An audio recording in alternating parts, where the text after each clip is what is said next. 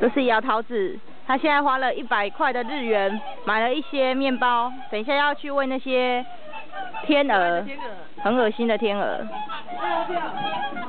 然后他居然要我帮他录影，然后我要深陷天鹅的 天鹅的天鹅群里面，太恶心了，实在不想不是很想过去。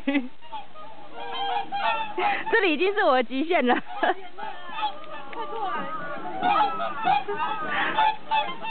等一下。